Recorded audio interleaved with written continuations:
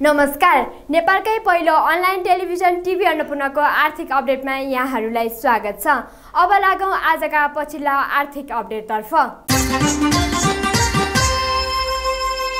सरकारले धुर्मु सुन्तली फाउन्डेसनलाई वीर अस्पताल सरसफाई बापतको रकम उपलब्ध गराउने भएको छ। स्वास्थ्य तथा जनसङ्ख्या मन्त्रालयले वीर अस्पतालको सरसफाई गरे बापत धुर्मु सुन्तली फाउन्डेसनलाई उन्सत्तरी लाख छ्यासी हजार रुपियाँ उपलब्ध गराउने निर्णय गरेको हो।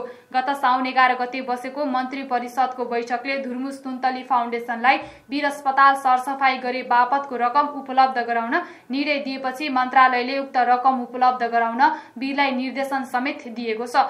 अस्पतालको सरसफाई गर्ने क्रममा धुर्मु सुन्तली फाउन्डेसनलाई रकम अभाव भएपछि स्वास्थ्य मन्त्रालयले उक्त रकम उपलब्ध गराउने प्रतिबद्धता जनाएको थियो।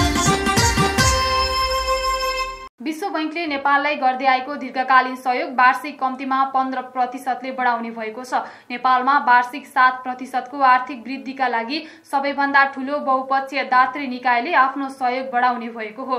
नेपालमा विश्व बैङ्कको सहयोगको पोर्टफोलियो दुई अर्ब सत्तरी करोड अमेरिकी डलर भन्दा धेरै छ। उसको सहयोगमा तेइसवटा आयोजना चलिरहेका छन्। सरकारको प्रतिनिधित्व गर्दै अर्थमन्त्री डाक्टर युवराज खतिवड़ाको नेतृत्वमा अमेरिकाका लागि नेपालका राजदूत डाक्टर अर्जुन कुमार कार्की र अर्थ मन्त्रालय वैदेशिक सहायता समन्वय महाशाखाका प्रमुख सहसचिव श्रीकृष्ण नेपाल समितिको तीन सदस्यीय प्रतिनिधि मण्डलले भाग लिनुभएको तीन दिनसम्म चल्ने नेपाल र विश्व बैङ्कको नेपाल सहायता सम्बन्धी उच्चस्तरीय बैठकमा दीर्घकालीन सहयोग जनाइएको हो।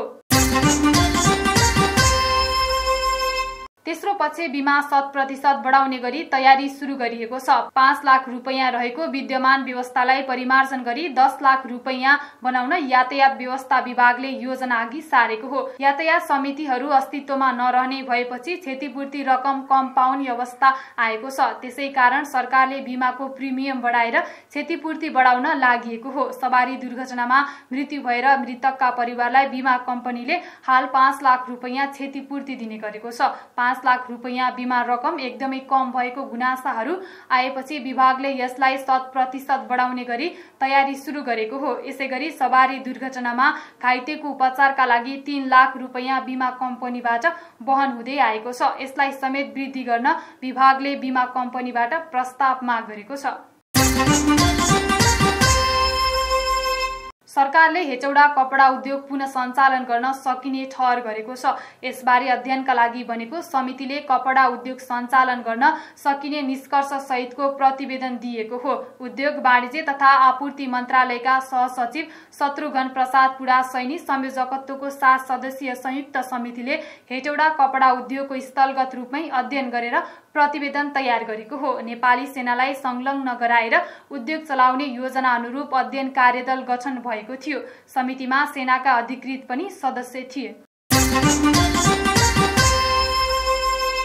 आजको लागि टिभी अन्नपूर्ण आर्थिक अपडेट यति नै। निरन्तर अपडेटका लागि टिभी अन्नपूर्ण हेर्दै गर्नुहोला। नमस्कार।